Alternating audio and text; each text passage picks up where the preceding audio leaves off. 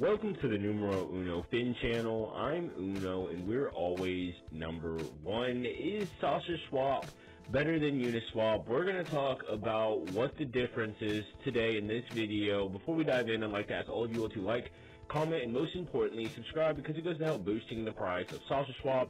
It also helps boost this channel, which in turn helps boost SaucerSwap. So you might as well do it. Now, to begin this video, I want to start off with looking at uh, the actual price of SaucerSwap. Now, let's take a look over the last month where we had highs of around uh, 22, 21 cents. Um, and right now we're in the 15 cent range. Um, going into a more shorter term view, um, if we look over the last five days, um, we've been sitting around 17 cents as the high. And as I said uh, before, um, we were sitting at the lows to uh, around that 15 cent level.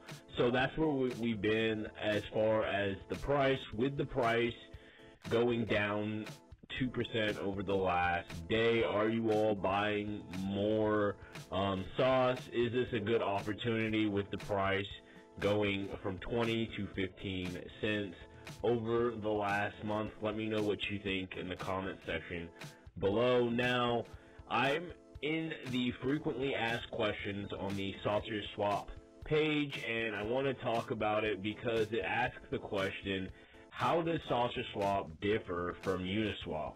And that is the question, is SaucerSwap better than Uniswap? Let me know in the comment section, what is your opinion? Now let's talk about this and let's talk about what the difference is. Now it says, SaucerSwap differs from Uniswap in some fundamental ways. For example, the Ethereum network uses the ERC and ERC 721 and 20 standards for token operations, meaning tokens are themselves contracts. On Hedera, however, token operations on, are performed on HTS, therefore tokens are controlled through HTS.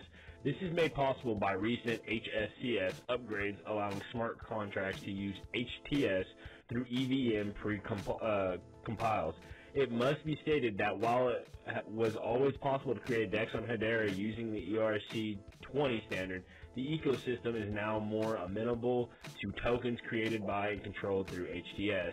Um, representing the novelty of SaucerSwap. This is a significant uh, differentiating factor at, Swap, at SaucerSwap is positioned to take advantage of the network's consistent and predictable fee structures for token operations.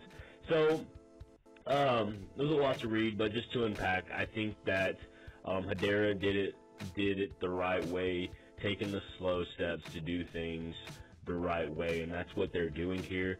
Um, as stated in there, they could have already launched a DEX um, with the ERC20, but um, I think they're taking advantage um, with the HSCS uh, contracts and whatnot, um, with the predictable fees. Um, and I think that's the advantage of SaucerSwap compared to Uniswap. Um, we're getting a, a, a lot more stability with SaucerSwap, and in my opinion, that is the reason I believe it is more valuable. I want to know your opinion. Do you own Uniswap? Do you own SaucerSwap? Which one do you think is more valuable? how much do you own of each? Let me know in the comment section below. I'm Uno. If you made it this far, you have a beautiful soul. I'm doing a uh, $500 NFT giveaway. As you can see, this is my uh, Crypto Uno NFT page. All you have to do is go buy a Crypto Uno NFT for as little as $1. Um, and you're the first 10 are entered to win $500 of free uh, crypto NFTs. So you might as well take advantage of that. I will have links in the description to other SaucerSwap videos, as well as links to free stock and free crypto, which you can then sell and buy more SaucerSwap. So you might as well take advantage of that.